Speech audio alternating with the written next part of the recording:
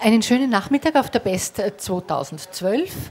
Wir haben hier einen Livestream, der diese Veranstaltungen im Vortragssaal C permanent über die Webseite der Best ausstrahlt.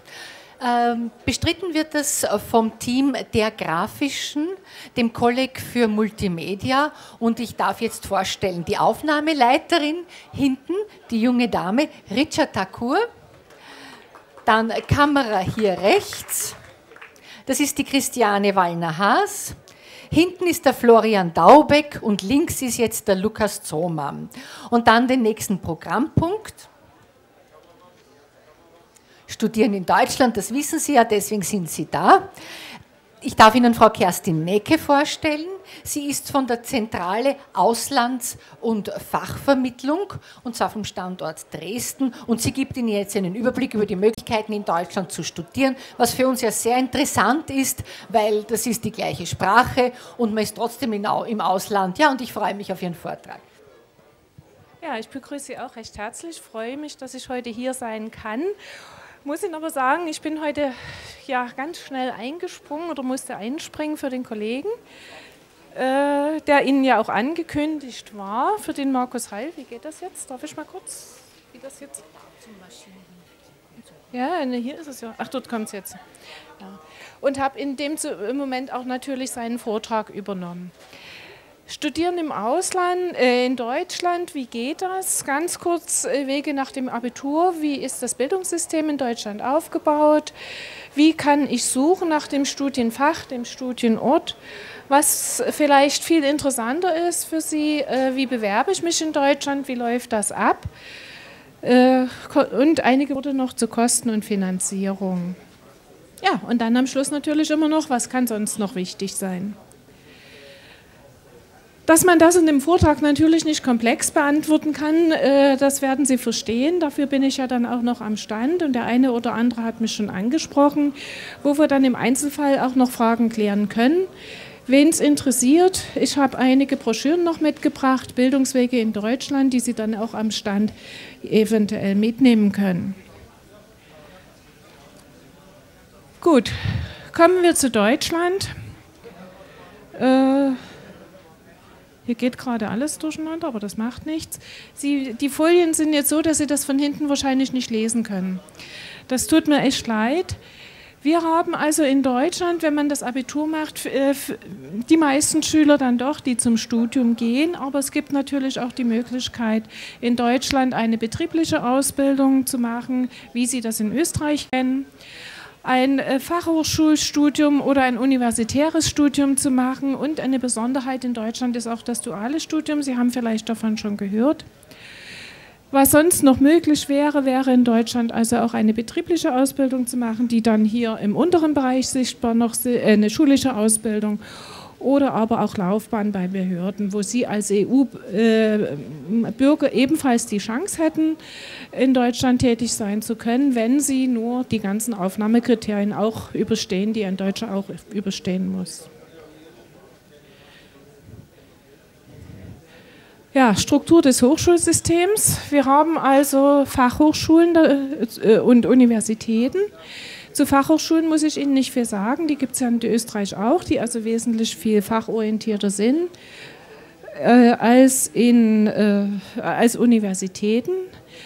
Wir haben dann die Hochschulen, die Universitäten in Deutschland, wo man also alles studieren kann, was man studieren möchte im Prinzip, wobei die Struktur sehr unterschiedlich ist und äh, durch äh, die Wende, die es ja vor 20 Jahren gegeben hat in Deutschland, es auch einige paradoxe Sachen gibt, dass man zum Beispiel an einer technischen Universität Medizin studieren kann, ist vielleicht doch ein bisschen ungewöhnlich, hat aber nur was mit dem Namen zu, äh, zu tun, nicht unbedingt mit der Qualität. Dann haben Sie in Deutschland noch, ja, das sind die Hochschulen an sich. Technische, äh, dann weitere Universitäten, fachorientiert, Kunst, Musikhochschulen und so weiter. Und was ich vorhin vielleicht noch erwähnte, das waren die Fachhochschulen. Insgesamt äh, die dualen Studiengänge. Insgesamt haben wir 400 Hochschulen. Das heißt, wer nach Deutschland gehen möchte und sich eine Hochschule aussuchen möchte, muss zeitig anfangen, sich zu überlegen, wo er hingehen kann, wo, wo er das möchte, mit äh, insgesamt 16.000 Studiengängen. Ja, hier haben wir es. Also Sie sehen es mir ein bisschen nach. Es ist immer ein bisschen, wenn man mit einer fremden Präsentation arbeitet, ein bisschen anders als mit einer eigenen, aber wir kriegen das schon hin.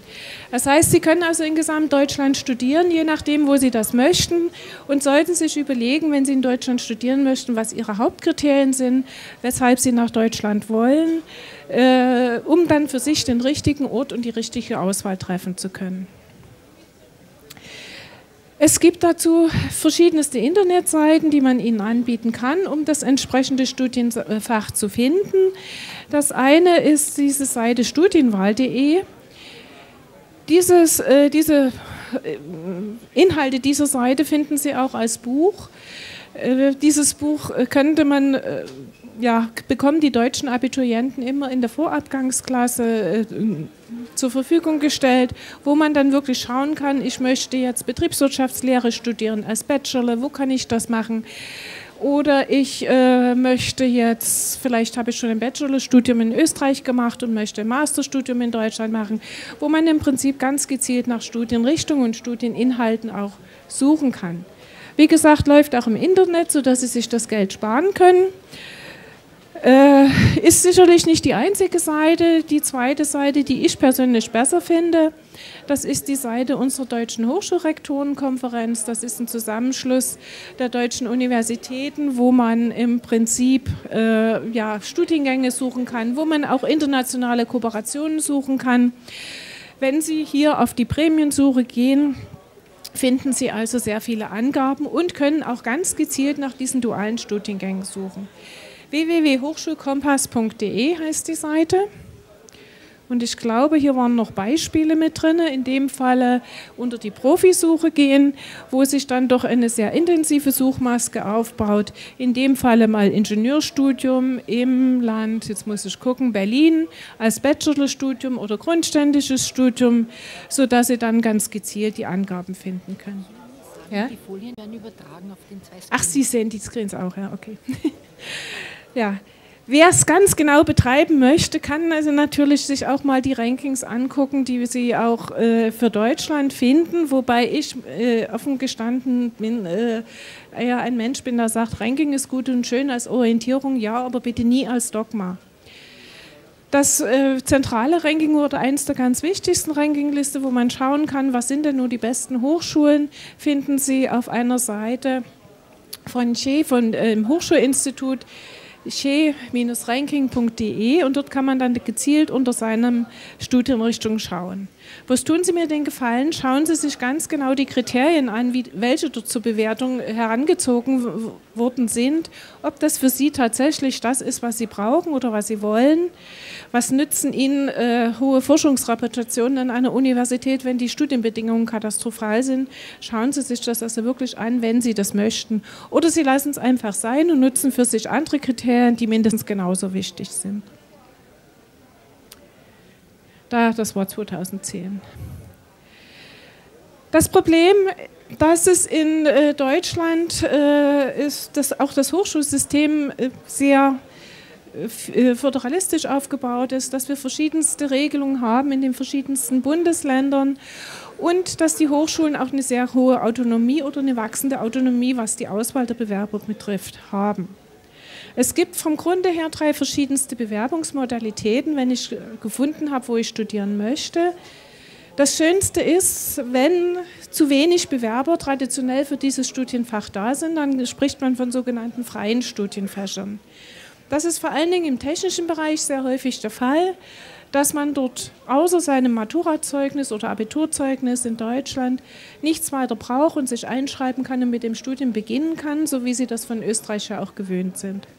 Es wird in Deutschland allerdings immer weniger, weil doch sehr viele Abiturienten inzwischen an die Hochschulen gehen, sodass es äh, die Möglichkeit gibt, von der Hochschulrektorenkonferenz mit den Universitäten zu beschließen, es gibt nur eine bestimmte Anzahl von Studienplätzen und dort muss ich mich dann sozusagen mit verschiedensten Regelungen, Auswahlregelungen befassen. Das heißt, für bestimmte Studiengänge, wie hier ja auch, wie, wo man eine besondere Eignung braucht, wie Musik, Sport und Kunst, muss ich sehen, dass ich an einem entsprechenden Eignungstest teilnehme, mich dort frühzeitig bewerben und informieren, was von diesem Eignungstest, was dort verlangt wird, wann die Fristen sind. Es gibt Universitäten, die verlangen schon sehr zeitig diese Tests oder diese Eignungsprüfung, so ungefähr um den Jahreswechsel, wenn sie in dem Jahr studieren möchten. Äh, diese Tests sind für diese Studienrichtung in der Regel Pflicht, nicht immer, aber schon äh, das Kriterium, dass sie tatsächlich auch einen Studienplatz erhalten haben. Wenn diese Eignungstests von vielen Studenten gleichmäßig äh, erfolgreich abgelegt waren, kommen sie nämlich dann in die zweite Auswahl Richtung. Moment, jetzt haben wir erstmal die andere. Das sind die äh, sogenannten lokal beschränkten Studienfächer.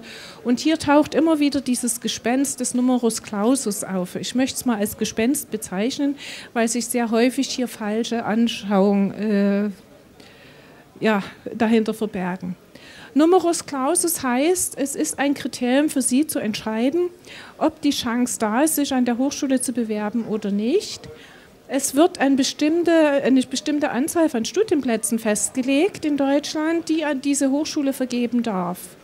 Und dann wird geschaut auf die wichtigsten Kriterien, die Deutschland hat, und das ist die Abiturdurchschnittsnote. Äh, welche sind die besten? Wer bekommt diesen Studienplatz? Und was ist der letzte Durchschnitt, wo jemand, der so, äh, diesen Studienplatz haben wollte, diesen Studienplatz auch erhält? Also wenn du zum Beispiel steht, der Numerus Clausus war 0,1, dann heißt, äh Quatsch, 2,1, äh, dann heißt das, äh, dass äh, der Letzte, der einen Studienplatz erhalten hat, noch 2,1 als Durchschnittsnote hatte und der Nächste mit 2,2 diesen Studienplatz vielleicht schon nicht mehr bekommt. Das heißt aber, so war es in der Vergangenheit. Das wird immer rückwirkend für das letzte Studienjahr bekannt gegeben, sodass Sie, wenn Sie 2,2 hatten, bitte nicht davor zurückschrecken, sich eventuell hier auch zu bewerben. Im Moment haben Sie auch die Möglichkeit, sich in Deutschland an so vielen Hochschulen zu bewerben, wie Sie das möchten. Es gibt also da außer bei Medizin und Pharmazie keine Einschränkungen sodass äh, es auch so ist, dass äh, nach den Entscheidungen teilweise Studienplätze wieder frei bleiben, sodass über ein Nachrückeverfahren es tatsächlich sein kann, dass sie trotzdem noch den Studienplatz erhalten. Also ein wenig kompliziert für die Recherche etwas ja, als Orientierungspunkt zu wählen und bei diesen äh, lokalen äh, zulassungsbeschränkten Studiengängen erkundigen Sie sich bitte, das kann in Berlin ganz anders aussehen als bei dem vergleichbaren Studiengang in Dresden oder in München. Sodass man auf seine Studienortwahl auch danach ein bisschen mit auswählen kann. Und unsere Geheimtipps sind immer so ganz kleine Universitäten an Standorten, die vielleicht gar keiner kennt wie zum Beispiel die Fachhochschule in Senftenberg an der polnischen Grenze oder in meiner Region Sachsen ist es an die Fachhochschule in Zittau, wo es besonders gute Studienbedingungen gibt, eben weil sonst diese Hochschulen wahrscheinlich gar nicht mehr existieren würden. Kommen wir aber jetzt zu diesem doch am meisten gefragten Studiengang wie Medizin und Pharmazie äh, in Deutschland und dort gibt es einen zentralen Numerus Clausus, weil die Nachfrage eben doch immer sehr, sehr hoch ist ja, und unsere Erfahrungen besagen, da ist Deutschland nicht das einzige Land. Die Nachfragen nach Medizinstudium sind weltweit doch sehr hoch, sodass jedes Land eigene Auswahlverfahren hat. Was Sie bei uns wissen müssen in Deutschland ist, dass es dort nur die Bewerbung grundsätzlich nur über äh, eine Internetseite gibt, äh, über unsere Stiftung Hochschulstadt, www.hochschulstadt.de. Der Link ist hier nicht mit drauf.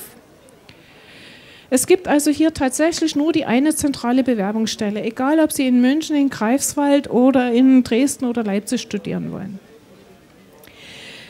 Diese Hochschulstadt-Stiftung vergibt die Studienplätze nach äh, streng geregelten Kriterien. Das eine, 20 Prozent der Studienplätze werden nach der Abiturdurchschnittsnote, nach der Abiturbestennote vergeben. Das heißt, es wird wirklich geschaut, wo sind denn die Besten und die bekommen den Studienplatz, wenn sie diesen Hochschulort, den Sie, äh, ja, oder wenn das dieser Hochschulort durch, äh, zulässt. Wenn Sie 1,0 haben, haben Sie wahrscheinlich kein Problem. Aber schon bei 1,1 oder 1,2 könnte es passieren, wenn, dann, äh, wenn Sie einen Hochschulort dort nur wählen, die nur 1,0 Zugang haben, fallen Sie aus dieser Quote schon raus. Dann gibt es eine zweite Quote, das ist die sogenannte Wartezeitquote. Wartezeitregelung ist alles, was zwischen Matura Abitur, äh, oder Abitur und Studienbeginn liegt, außer ein Studium in Deutschland. Wenn Sie sagen, na gut, dann studiere ich erstmal Biologie und bewerbe mich dann über ein Medizinstudium, das funktioniert in Deutschland nicht. Alles andere funktioniert als Wartezeitregelung und dort wird dann geguckt, wer wartet denn schon am längsten. Und wenn Sie jetzt draufschauen würden auf die Internetseiten äh, von Hochschulstadt, würden Sie merken, dass diese Wartezeitquote inzwischen in fast zweistelligen Bereich liegt. Also man kann dort getrost erstmal eine Ausbildung machen als Krankenpfleger, um dann in diese Quote reinzukommen. Ob es zu empfehlen ist, ist eine ganz andere Frage. Ja, und weil das den Hochschulen zu starr war, haben die Universitäten gesagt, oh, wir wollen selber auswählen. Und genau das sind diese restlichen 60 Prozent. Diese 60 Prozent der Studienplätze werden über die sogenannte Auswahl der Hochschulen vergeben. Und bei diesen Auswahlen der Hochschulen muss man sich ganz viel Zeit nehmen und die Internetseite von Hochschulstadt in aller Ruhe studieren, weil die Kriterien hier sehr unterschiedlich sind. Und je nach Strategie, je nach Reihenfolge, wie Sie die Ortspräferenzen dann festlegen, die Chance besteht, einen Studienplatz dort zu erhalten, wo Sie wollen, oder eben keinen zu erhalten. Die Hochschulen, die Universitäten können hier auswählen nach verschiedenen Kriterien. Und die Kriterien sind von Uni zu Uni tatsächlich unterschiedlich. Und das sollte man sich, wie gesagt, durchlesen. Also es gibt Universitäten, die sagen, mir ist das so wichtig, dass ich hochmotivierte Leute bekomme, die trotzdem gut sind und vielleicht kein 1,0er Zeugnis haben. Ich will mit denen selber reden. Dann kommen die Bewerbungsunterlagen, wenn sie nicht gerade 3,1 haben oder wie auch immer, eine gewisse Stückanzahl an die Universität. Die Universität schaut die sich an nach bestimmten Kriterien. Durchschnittsnote, äh, gewichtete Durchschnittsnote, das heißt, dort nochmal geguckt, wie war der in Biologie, wie war der in Chemie, ja, äh, wie ist vielleicht die Gesamteinschätzung. Und die Leute lade ich mir, von diesen Ausgewählten lade ich mir dann welche ein und wähle dann im Auswahlgespräch welche aus. Wie das ablaufen könnte, sehen Sie an der Universität in Dresden. Da werden etwa 900 nachrückende Bewerbungen nochmal ausgesucht. 300 werden eingeladen für 120 Studienplätze. Nur, dass Sie mal so ein bisschen ein Gefühl kriegen, wie die Größenordnung ist. Andere Universitäten sagen, nee, ist mir zu viel, ich habe damit zu viel Arbeit. Hochschulstadt macht das mal weiter und geben bestimmte Kriterien vor. Ja, und ein entscheidendes Kriterium kann zum Beispiel auch die Ortspräferenz sein. Also es gibt auch Universitäten, die sagen, das ist eine Rangfolge, der will also am liebsten in München studieren, am zweitliebsten in Dresden und am drittliebsten in Greifswald von mir aus. Und bei Dresden weiß ich definitiv, dass die drauf haben, um in diese Auswahlrunde zu kommen, muss Dresden an erster Stelle stehen. Und deswegen sage ich das. Ja, sonst nimmt die Hochschule die nicht in die Auswahl rein. Das kann die Hochschule selber festlegen.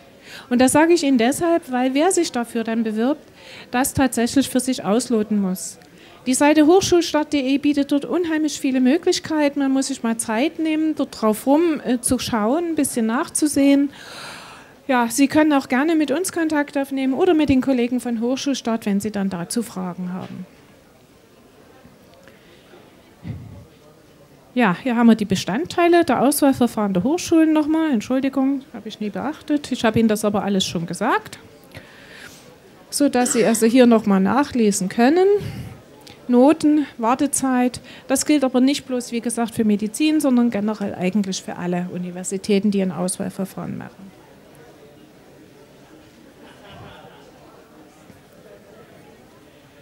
So, kommen wir zu dem leidischen Problem des Geldes. Was hier leider nicht drin ist in diesem Vortrag, ist eine schöne Übersichtsfolie über Studiengebühren in Deutschland. Ich glaube, das ist der Löwenanteil äh, des Geldes, was Sie in Deutschland bezahlen müssten, wenn Sie denn in ein Bundesland gehen, was Studiengebühren noch hat. Inzwischen laufen sehr viele Diskussionen äh, über Studiengebühren. Äh, der gesamte Osten von Deutschland, also Mecklenburg-Vorpommern, Berlin, Thüringen, Sachsen-Anhalt und Sachsen haben von vornherein keine Studiengebühren eingeführt. Andere Länder haben sie wieder abgeführt, äh, abge schafft. Äh, und einige sind noch in Diskussion. Im Prinzip ist es so, dass wir im Moment noch äh, den Norden drin haben mit äh, Studiengebühren, also Nordrhein-Westfalen und ähm, Niedersachsen sowie Bayern und Baden-Württemberg äh, bis zu maximal 500 Euro im Semester. Inzwischen äh, hat Nordrhein-Westfalen auch abgeschafft.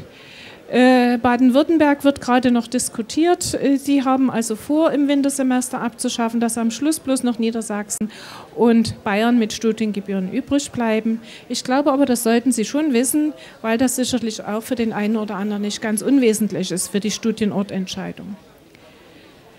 Ja, hinzu kommen noch Kosten, äh, die sogenannten Semestergebühren, die von Standort zu Standort sehr unterschiedlich sein können.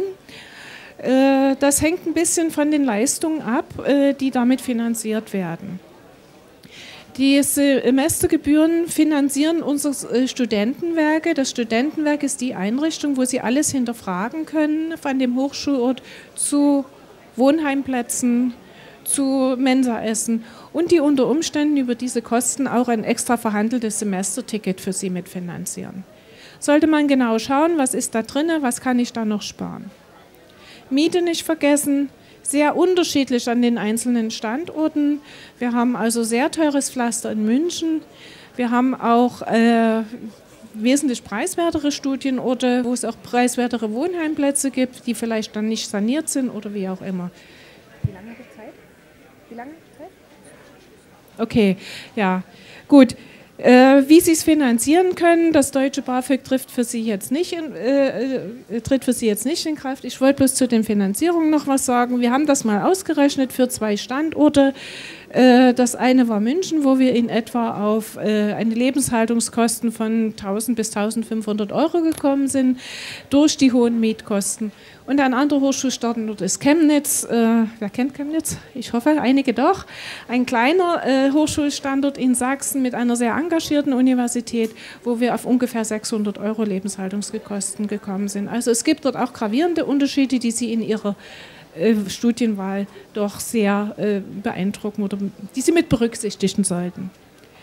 Ansonsten haben wir hier noch mal einige wichtige äh, Internetseiten aufgeschrieben. Ich habe auch äh, einen Handzettel am Stand, den ich Ihnen noch mit aushändigen kann, wo weiterführende Links drauf sind. Ich bin da am Stand. Rechnen Sie mit ein bisschen Wartezeit. Äh, dadurch, dass ich nun leider Einzelkämpfer bin, dass zwei Leute gleichzeitig ausgefallen ist, ungewöhnlich, aber die beide können beide nicht mehr sprechen, weil es eine Kehlkopfentzündung ist. Drücken Sie mir die Daumen, dass es mich nicht auch noch erwischt. Ansonsten äh, kann ich Ihnen natürlich dann auch gerne am Stand noch die Kontaktdaten mitgeben, dass Sie Ihre Fragen dann per E-Mail oder wie auch immer nach Deutschland schicken. Ich hoffe, ich konnte Ihnen das eine oder andere Neue sagen und wünsche Ihnen dann natürlich viel Erfolg, wenn Sie nach Deutschland kommen. Herzlichen Dank, Frau Kerstin Necke. Sie haben es ganz souverän übernommen. Es ist wunderbar gegangen. Ihnen vielen Dank für Ihre Aufmerksamkeit. Eine Frage noch: Chemnitz, haben die harte Zugangsbeschränkungen dort an der Uni? Für einzelne Fächer. Man muss dann immer nachschauen. Für einzelne Fächer gibt es die Studienzugangsbeschränkungen auch an kleinen Universitäten. Dort ist wirklich, man muss wirklich gucken. Also das bleibt Ihnen nicht erspart, den Blick auf die Internetseite der Universität, wo man hin möchte. Vielen herzlichen Dank. Danke Ihnen auch. Schönen Nachmittag noch.